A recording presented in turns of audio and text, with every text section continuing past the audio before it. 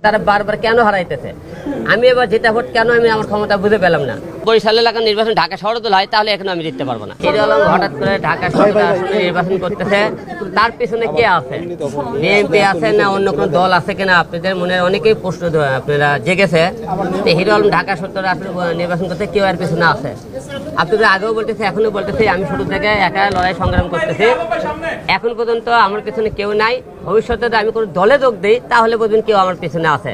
ঢাকা সতেরো আসনে যে উপনির্বাচন সেখানে কি আপনি মনে করছেন যে ঘোমটা করে বিএনপি আছে? সব জায়গাতে আছে তারা তাদের মতন করে। বিএনপির প্রতিনিধি কি বগুড়ার মতো হিরো আলম? সেইটা সে ব্যাপারে আমি কোনো মন্তব্য করতে চাই না। আমি মনে করি সবারই নির্বাচনে অংশগ্রহণ করার অধিকার আছে সাংবিধানিকভাবে। কিন্তু আমাদের প্রতিপক্ষ বিভিন্নভাবে কারও না কারও ঘাড়ে ভর করে এবং কোনো না কোনোভাবে থাকে। আসসালামু আলাইকুম। দর্শকতা ঢাকা সতেরো আসনে যে চিত্রনায়ক ফারুক খান মারা গিয়েছিলেন। তার পরিবর্তে সেখানে আবার নতুন করে নির্বাচন শুরু হয়েছে।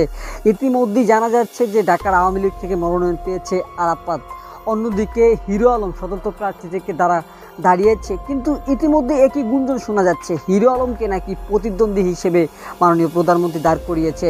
বিস্তারিত আপনাদেরকে দেখাবো আজকের এই ভিডিওতে। সম্পূর্ণ ভিডিওটি দেখার অনুরোধ রেখেই শুরু করছে আজকের ভিডিও। মূল ভিডিওতে যাওয়ার আগে ছোট্ট করে আপনার কাছে একটি অনুরোধ, যদি আমাদের এই চ্যানেলটিকে আপনি নতুন দর্শক হয়ে থাকেন, তাহলে অবশ্যই চ্যানেলটি সাবস্ক্রাইব করে আমাদের সঙ্গেই থাকবেন। কথা না বাড়িয়ে, দর্শক, প্রথমে আমরা স্ক্রিনে পরপর সেই ভিডিওগুলো দেখে আসি, কী নিয়ে এবার অভিযোগ তুলেছেন। ঢাকা সতেরো আসনে যে উপনির্বাচন সেখানে কি আপনি মনে করছেন যে ঘোমটা করে বিএনপি আছে? সব জায়গাতে আছে তারা তাদের মতন করে ঘোমটা করে। বিএনপির প্রতিনিধি কি বগুড়ার মতো হিরো আলম? সেইটা সে ব্যাপারে আমি কোনো মন্তব্য করতে চাই না। আমি মনে করি সবারই নির্বাচনে অংশগ্রহণ করার অধিকার আছে সাংবিধানিকভাবে। কিন্তু আমাদের প্রতিপক্ষ বিভিন্নভাবে কারও না কারও ঘাড়ে ভর করে এবং কোনো না কোনোভাবে থাকে। তো আমি এটা এটা সব জায়গাতেই তাদের এই অবস্থান আছে। না আপনি মনোনয়ন পেলেন নৌকার মনোনয়ন পেয়েছেন কিন্তু সেখানে একজন প্রার্থী হিসাবে অ্যাজ একজন ক্যান্ডিডেট হিসেবে আপনার কি মনে হয় না যে খেলাটা সমান সমান হলে নির্বাচনটা ভালো হতো আপনার জন্য ভালো হতো? নিশ্চয়ই নিশ্চয়ই। সেটা আপনার সাথে আমি একমত। আমরা আমি মনে করি আমাদের দল মনে করে এবং আমরা বহুবার বলেছি যে আমরা আমাদের প্রধান প্রতিপক্ষ যারা তারা নির্বাচনে আসুক থাকুক এটা আমরা চাই। আমরা নির্বাচন কেন্দ্রিক দল নির্বাচনমুখী দল। সেটা আমাদের প্রত্যাশা। কিন্তু যারা গণতন্ত্র নির্বাচন বিরোধী একটা অবস্থান নিচ্ছে, তার নির্বাচনে থাকছে না। এবং আপনি খেয়াল করে দেখেন, বিএনপির কিন্তু প্রচুর নেতা নেতা কর্মীরা এই আপনার লোকাল গভর্নমেন্ট ইলেকশনগুলোতে চলে যাচ্ছে এবং তাদেরকে বহিষ্কার করা হচ্ছে। কাজে তাদের, তারা কিন্তু মানুষকে তো পরে তাদের নেতাকর্মীদেরই নির্বাচন থেকে নিবৃত্ত করতে পারছে না। যদিও তারা একটা অবস্থান নিয়েছে নির্বাচন বিরোধী। তো সেটা হবে না আসলে। দিন শেষে নির্বাচন জয়ী হবে গণতন্ত্র জয়ী হবে। নির্বাচনমুখী যারা তারাই থাকবে আপনি ঢাকা সতেরো আসনে আসলে আপনার প্রতিপক্ষ ভাবে কাকে মনে মনে ভেবে নিয়েছেন? আমি আসলে আমি নৌকাকে ফোকাস করছি নৌকার জন্য কাজ করছি। আমার আমার মার্কা নিয়ে আমি কাজ করব এবং আমরা সর্বোচ্চ মানে ভোটার টার্ন আউট করার চেষ্টা করব। সবাই মিলে এখানে কচি ভাই আছে বজরু ভাই আছে আমাদের আহ, ওয়াকিল উদ্দিন সাহেব আছেন। এবং সবাই মিলে আমাদের নর্থে এবং কেন্দ্রীয়ভাবে সবাই মিলে আমরা চেষ্টা করব বিকজ যদিও অল্প কিছু মাসের এই নির্বাচন কিন্তু একটি গুরুত্বপূর্ণ জায়গায়। এবং এই নির্বাচনগুলিতে এখন বাংলাদেশ এবং বিশ্বের সকলের চোখ আছে। যে আমরাও নির্বাচনগুলোকে যে সিরিয়াসলি নিতে চাই নির্বাচন আসলে it's not a matter of joke it's a serious matter তো সেভাবে আমরা নিতে চাই না না প্রতিপক্ষ নিচ্ছে। প্রতিপক্ষ তো বিভিন্নভাবে এনগেজড আছে। আমাদেরকে পরাজিত করা ছোট করা হিউমিলিয়েট করা সেটা আমরা হতে দিব না। আরাফাত ভাই এত এলাকায় যোগ্য নেতা ছিল যারা তৃণমূলের নেতা একদম ঘামে পাঞ্জাবি পিটিয়ে ফেলেছে তারা তো প্রত্যাশী ছিল সদর আসলে আমিও হব। কিন্তু সবকিছুকে বাদ দিয়ে আরাফাত হয়ে গেল নৌকার কান্ডারি আরাফাতের ক্যারিশমাটা কি?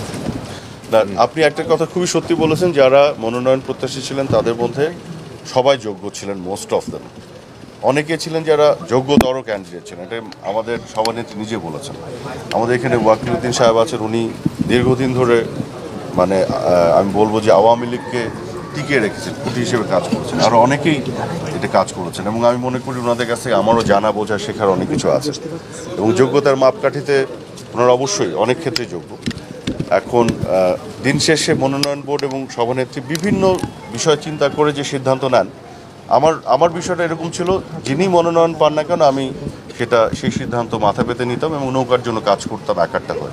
এবং মনোনয়ন প্রত্যাশী যারা ছিলেন, আমরা বলেছি যে আমরা সবাই এখনও নৌকার ক্যান্ডিডেট আমরা সবাই নৌকার জন্যই কাজ করব। এবং এটা আসলে একা আমি আরাফাত জিতলাম না, হারলাম, এটা নিয়ে আমরা চিন্তিত নই কোনো ব্যক্তি আমাদের কাছে ছোট না, কাউকে আমরা ছোট করে দেখছি না কোনোখানে। কিন্তু আপনি কি মনে করছেন যে সেই ব্যক্তি অর্থাৎ হিরো আলমের মধ্য দিয়ে বিএনপি ভোটটাতে আপনাদের সাথে সে আপনাদেরকে যা ইচ্ছাই তাই করুক, সরকারকে একটা প্রশ্নবিদ্ধ জায়গায় ফেলবে। দেখুন আরও অনেকেই কিন্তু এখানে প্রার্থী হয়েছে। কাজে কার ঘাড়ে তারা চাপবে এটা আমরা বলতে পারছি না। তবে তারা মানে সক্রিয় আছে সার্বক্ষণিকভাবে। স্বাধীনতা বিরোধী অপশক্তি সাম্প্রদায়িক অপশক্তি, আওয়ামী লীগের বিরুদ্ধে নৌকার বিরুদ্ধে। তারা চেষ্টা করে যাবে। তারা অদৃশ্য আছে বা দৃশ্য দৃশ্যমান থাকবে করবে। কাজে এই লড়াইটা কিন্তু আছে তারা মাঠে থাকবে না থাকবে। মানে অপশক্তি ফাঁকা মাঠে আপনাকে গোল দিতে দিবে না? কাউকে দিবে না নৌকাকে দিবে না। আমি না আমি আরাফাত কিছু না। নৌকার বিপক্ষে তারা সবসময় সক্রিয়। যেই নৌকা নিয়ে আছে তার বিপক্ষে তারা আছে। নির্বাচনে আছে নির্বাচনের বাইরে আছে রাজনীতিতে আছে মাঠে আছে ঘাটে আছে সব জায়গায় মানে আছে। আমাকে তারা বারবার কেন হারাইতেছে? আমি এবার যেটা ভোট কেন আমি আমার ক্ষমতা বুঝে পেলাম না। বরিশাল এলাকার নির্বাচন ঢাকা শহরে তো হয় তাহলে এখন আমি জিততে পারব না। হিরো আলম হঠাৎ করে ঢাকা শহরে আসলে নির্বাচন করতেছে তার পিছনে কে আছে? বিএনপি আছে না অন্য কোনো দল আছে কিনা? আপনাদের মনে অনেকেই প্রশ্ন আপনারা জেগেছে হিরো আলম ঢাকা সত্তরে আসলে নির্বাচন করতে কেউ এর পিছনে আছে। আপনাদের আগেও বলতেছে এখনও বলতেছে আমি শুরু থেকে একা লড়াই সংগ্রাম করতেছি। এখন পর্যন্ত আমার পেছনে কেউ নাই। ভবিষ্যতে যদি আমি কোনো দলে যোগ দিই তাহলে বলবেন কেউ আমার পিছনে আছে। যেহেতু আমি স্বতন্ত্র প্রার্থী আমার সাথে কোনো বিএনপি বা অন্য কোনো দল আমার সাথে যুক্ত নেই। বিএনপির ভোট আপনি পাবেন কি না কি মনে হয়? এখন এটা ভোটারদের মনের বিষয়। বিএনপি তা বাদে অন্য অন্য যে দলগুলো আছে সব কটা দলই আমাকে ভোট দেবে কেন এটা ভোট তো একাত্ম নিজস্ব ব্যক্তিগত বিষয়। এখন ঘর গ্রাহকরা এবং মনে করেন যারা ভোটাররা আছে তারা ভোট দিলে আমরা বুঝতে পারব তারা আমাকে ভালোবাসে না ভালোবাসে না। এটা ভোটের একাত্ম আহ, একাত্ম নিজস্ব বিষয় আর কি। আচ্ছা সাহেব কেন আপনি ঢাকা সত্তর আসনের উপনির্বাচনে মানে মনোনয়নপত্র সংগ্রহ করলেন জমা দিলেন বা নির্বাচনের প্রস্তুতি কেন নিলেন? কি কারণে? এখন আপনারা তো এটা জানেন গততে কিছুদিন আগে উপনির্বাচন বগুড়া সদরে কালুনন্দী গ্রাম দুইটা আসন থেকে নির্বাচন করলে আমাকে ছয় নয় করে আমাকে ভোটটা থেকে হারানো হয়েছে। আমার কথা হারানো হয়েছে, এখন এখানে হারানোরই একটা প্রতিবাদের মশাল বলতে পারেন। এখানেও আমি ভোট করতেছি, প্রতিবাদের মশাল আমাকে তারা বারবার কেন হারাইতেছে? আমি এবার যেটা ভোট, কেন আমি আমার ক্ষমতা বুঝে পেলাম না? তারই পরিপ্রেক্ষিতে আমি এখানে ভোট করতেছি, দেখি ওনা ওরা ওখানে হারাছে এখানে আমাকে হারাই কিনা আমি দেখব। এই যদি তারই প্রতিবাদের মশাল হিসাবে আমি এখানে ভোট করতেছি, জনগণ যদি আমাকে ভালোবাসে, এখানেও ভোট দেবে এবং আমাকে এখানেও পাস করে যাবে। আমি আশা করতেছি একটা সুস্থ নির্বাচন আপনারা সবাই দেবেন। সুস্থ নির্বাচন হলে আমি ইনশাল্লাহ আপনাদের একটা কথা বলতে পারি আমি এখানেও জয়লাভ করব। আপনি বগুড়াতে নির্বাচনকালীন আপনি অভিযোগ করেছিলেন যে আপনি জিতেছেন কিন্তু আপনাকে হারানো হয়েছে। আপনি কি মনে করছেন যে আপনাকে হারানো হবে? এখন এই মুহূর্তে বলতে পারতেছি না যে সুস্থ নির্বাচন হয় তাহলে আমাকে হারাতে পারবে না। নির্বাচন দেখে কি মনে হচ্ছে? দর্শক আপনারা দেখলেন সম্পূর্ণ ভিডিওটি। যেখানে ঢাকা সতেরো আসনের চিত্রনায়কের মারার মানে মারা যাওয়ার পরপরই এবার নির্বাচন নিয়ে একটি হট্টগোল হয়েছে। যেই নির্বাচন নিয়ে জল্পনা কল্পনার পরে অবশেষে নির্বাচন আওয়ামী লীগ থেকে মনোনয়ন পেয়েছেন আরাফ আরাফাত, অন্যদিকে স্বতন্ত্র প্রার্থী থেকে দাঁড়িয়েছেন হিরো আলম। কিন্তু স্বতন্ত্র প্রার্থী নয়, হিরো আলমকে নাকি প্রধানমন্ত্রী দাঁড় করিয়েছেন এরকমটা গুঞ্জন শোনা যাচ্ছিল। অবশেষে যা বললেন হিরো আলম আপনারা তো দেখলেনই সম্পূর্ণ ভিডিওটি। সম্পূর্ণ ভিডিওটি দেখার পরে আপনাদের কি মতামত রয়েছে সেই মতামতটুকু জানিয়ে যাবেন। আজকের মতো এখানে বিদায় নিচ্ছি। আল্লাহ হাফেজ।